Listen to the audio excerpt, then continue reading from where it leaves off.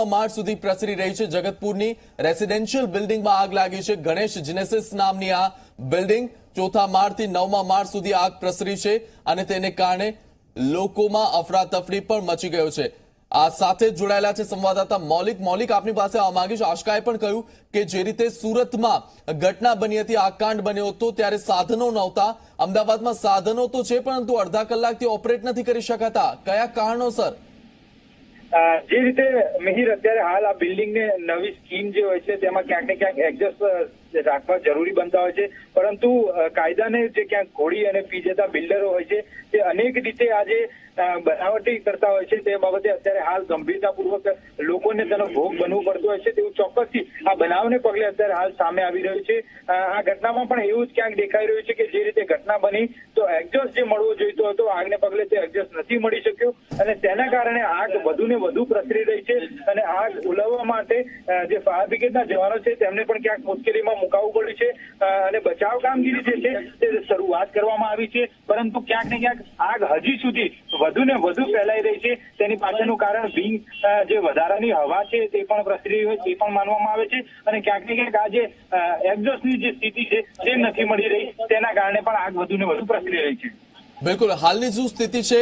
લોકોને નીચે ઉતારાઈ દેવાયા છે, તે પ્રકારની માહિતી પણ મળી છે. હાલની શું સ્થિતિ?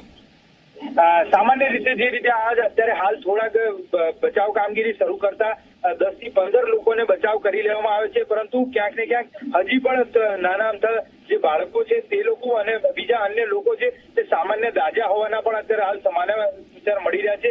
જેને પગલે એકસો આઠની ટીમ તાત્કાલિક ત્યાં આગળ બોલાવી લેવામાં આવી હતી અને નજીકની જે હોસ્પિટલ છે, ત્યાં આગળ તેમને ખસેડવા માટેની કામગીરી જે છે તે ફાયર બ્રિગેડ દ્વારા કરવામાં બિલકુલ, સાથે સાથે પોલીસના જવા, પોલીસ કર્મચારીઓ પણ ત્યાં હાજર છે, કારણ કે એક સાથે ફાયર વિભાગ અને જે રહેવાસીઓ છે, તેમની વચ્ચે કોઈ ચકમક જરી હોવાની, બોલાચાલી થઈ હોવાની ઘટના પણ બની છે, કારણ કે જે રીતે સાધનો કામ નથી કરી રહ્યા.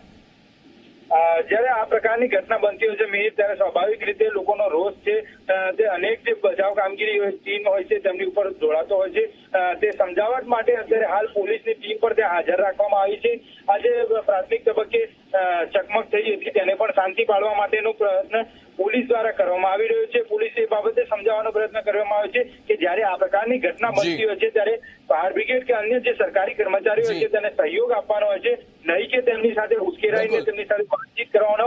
જેથી કરી આ લોકોને સમજાવવાની જે પ્રયત્ન છે તેને પગલે લોકો અત્યારે હાલ જે મૌલિક આપની પાસે થોડા સમયમાં જ પાછા ફરીશું. અમદાવાદના આ ફ્લેટમાં આગ લાગી છે રેસિડેન્શિયલ વિસ્તારમાં આગ લાગી છે અને તેને કારણે હાલ પંદર લોકોનું રેસ્ક્યુ અને બાકીનાનું રેસ્ક્યુ અને આગને બુજાવવાની કામગીરી શરૂ કરી દેવામાં આવી છે.